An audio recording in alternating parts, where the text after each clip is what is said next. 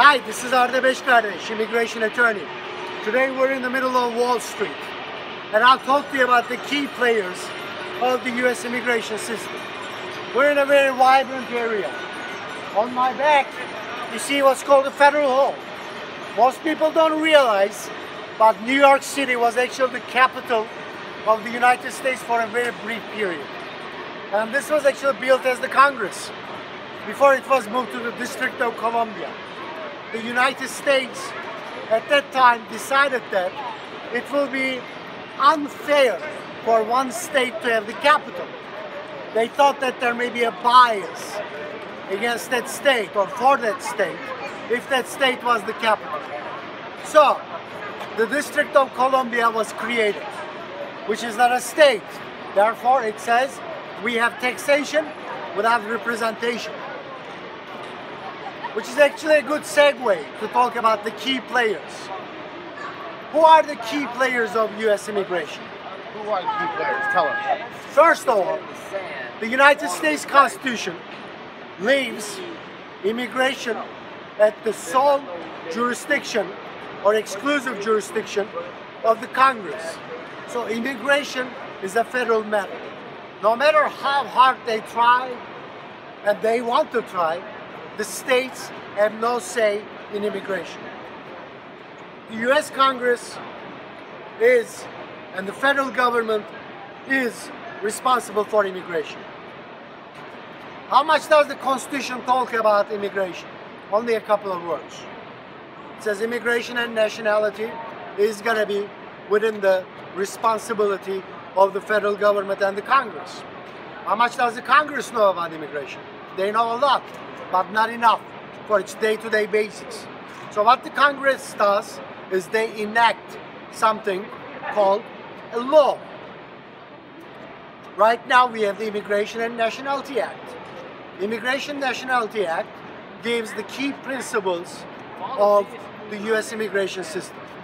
They say, let there be H visas, let there be green cards, let there be this, let there be that. But the Congress is not equipped to decide or tell or outline how those visas are going to be given, how those green cards are going to be given, how is that procedure it's going to be. So they delegated to the executive branches. In this case, Department of Homeland Security, Department of State, Department of Labor. Those executive branches, those agencies, they tell how the H-1B visas are going to work, how the green cards are going to work in their own jurisdiction. And based on that, they create the regulations. So, on the top, we have the Constitution. It's the supreme law of the land. Why is it the supreme law of the land? Because it says so. The Constitution itself says, I am the supreme law of the land. Nothing can conflict with the Constitution. If it conflicts, then in that case the Constitution always wins. Then after that we got the Immigration and Nationality Act, an act of the Congress that gives the brief outline of the US immigration system. After that we got the regulations. The regulations go to the nitty-gritty parts of immigration. It tells you how things actually work, how the system actually works.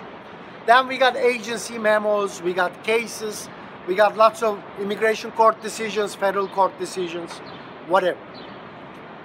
That's the legal system of the US immigration. And based on that, here are the agencies. Congress obviously makes the laws, but that's where their responsibility stops. On top of that, we have the Department of Homeland Security. Department of Homeland Security is responsible for all immigration matters within the borders of the United States and sometimes in limited instances outside of the United States. Department of Homeland Security has three specific branches for immigration. The USCIS, USCIS stands for United States Citizenship and Immigration Service. That's the service, that's the benefits for parts of immigration. You want a visa, you want an immigration classification, you want a green card, you usually deal with USCIS. Then you got the CBP, Customs and Border Protection. Those are the people that are responsible for airports, customs. Those are the people that you see at the airports with the guns and the badges. Those are the ones that admit you. And they have their special jurisdiction. Then you got ICE or ICE, Immigrations and Customs Enforcement. Those are the people who do the raids, they arrest you, they try you if necessary if you're in front of an immigration judge. Then you got the immigration court system, which is if you're in deportation or removal proceedings. That's the Homeland Security and the immigration system. On the other hand, you got the Department of State.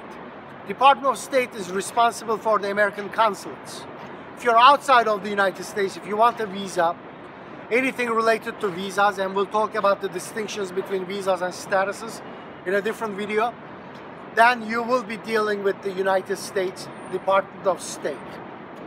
Then we got the US Department of Labor. The US Department of Labor is responsible for foreign workers coming and working in the United States. They do the labor certifications, they do the perm applications, they de declare what the prevailing wages for certain positions are. So these are the main key players. The Department of Homeland Security, under the USCIS, CBP, and ICE, Department of State, and Department of Labor. And we'll talk more about their roles in every single classification when the time arises. Thank you very much for listening to me.